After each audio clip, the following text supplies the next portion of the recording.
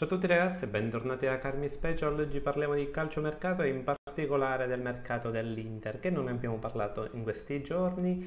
Perché? Perché mi ha un po' sorpreso una sorta di trattativa, ancora non è proprio del tutto ufficiale, ma a quanto pare l'Inter ha investito ben 60 milioni, compresi anche di bonus, per due giovani talenti del Genoa, Pellegri e Salcedo. Ora Salcedo, non so come si pronunci, però la cosa che mi ha colpito è appunto questo investimento, ovviamente sono compresi i bonus, ma i bonus sono in mano al Genoa, quindi sono facilmente raggiungibili, non, perché non sono in mano all'Ina, quindi se il Genoa dice che quei bonus servono alla squadra verranno ovviamente raggiunti.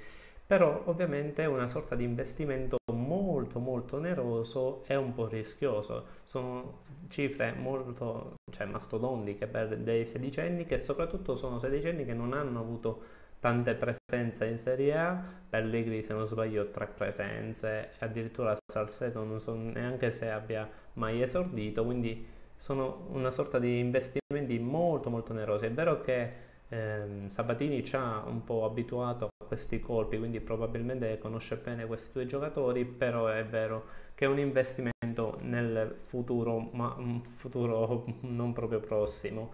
Quindi io da, ovviamente non sono un tifoso dell'Inter, però se dovessi ragionare da tifoso dell'Inter, sinceramente avrei preferito un investimento immediato su magari giocatori già pronti che nei prossimi anni eh, mi potessero appunto aiutare a raggiungere degli obiettivi perché in questo modo eh, ad esempio l'Inter al momento si ritrova ad avere una rosa simile ancora a quella dell'anno scorso. Ovviamente adesso a partire da luglio ci saranno altri investimenti però se questi investimenti vengono fatti ad esempio 20-30 milioni per Skriniar sinceramente ragazzi io l'ho visto giocare nella Sampdoria.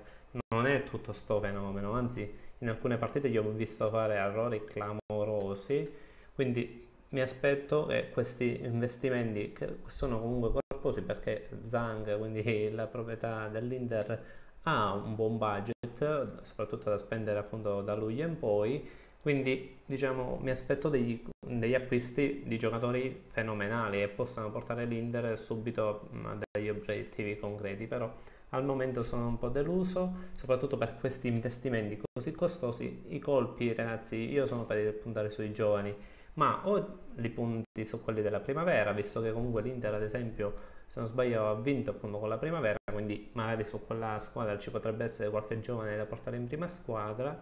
E in più oppure fai degli acquisti come è stato per Orsolini. La Juventus non ha speso più di 30 milioni e tra l'altro Orsolini ha giocato tantissime partite in Serie B quindi diciamo che è un po' una scommessa dell'Inter che mi ha sorpreso parecchio. Ditemi se ha sorpreso anche voi e se pensate che possa essere un investimento un po' rischioso e soprattutto eh, in vista del futuro non proprio prossimo.